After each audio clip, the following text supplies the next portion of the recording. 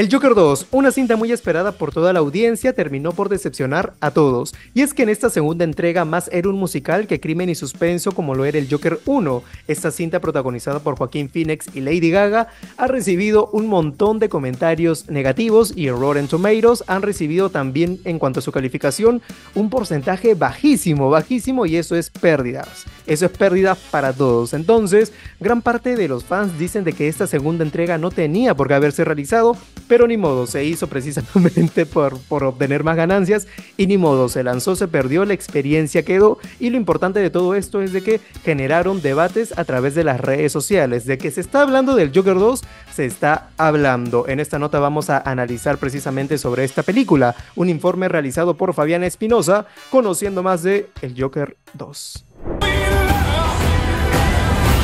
Tell us, what's changed? Joker 2 desafía todas las expectativas y que rompe con las convenciones establecidas. Regresa a la pantalla grande dispuesta a sorprender con un giro inesperado que pocos se atreven a imaginar, con un elenco de primera línea y una historia que explora los límites de la mente humana, esta nueva entrega promete sumergir al espectador en un viaje psicológico y visual completamente diferente a lo visto anteriormente. Una propuesta audaz que seguramente generará debate y dejará huella en el panorama cinematográfico actual Joker 2 se estrenó en octubre del presente año. La película trata de sumergirnos nuevamente en la mente perturbadora de Arthur Fleck, el hombre que se convirtió en el Joker.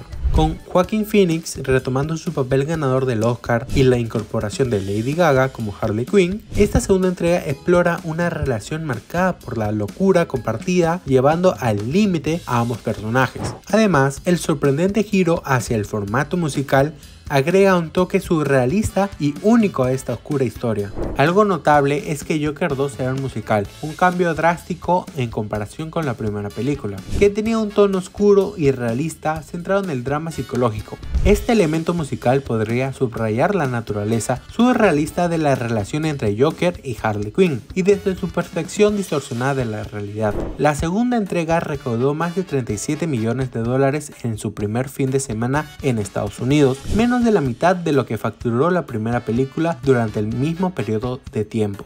En lugar de mostrar a Arthur abriendo una sangrienta franja entre los plutócratas de la ciudad gótica, la nueva película refleja que Joker es solo el patético cascarón de un hombre a quien solo los engañados admirarían.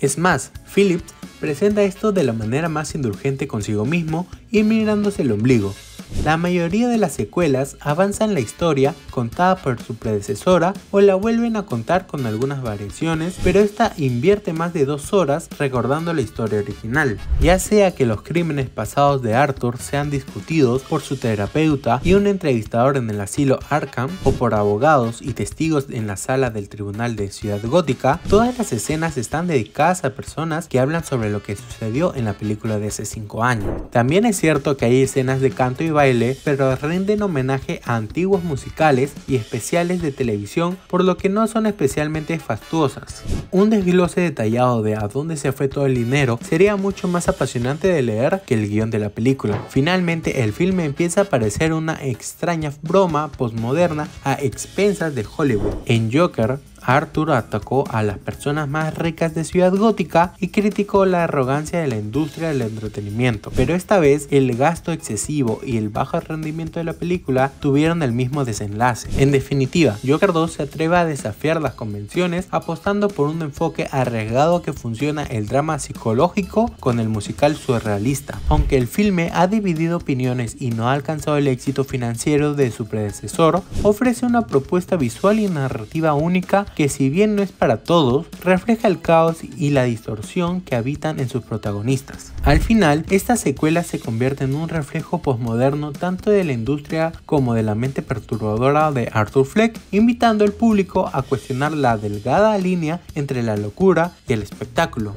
A través de los comentarios déjanos saber si esta película te gustó o no.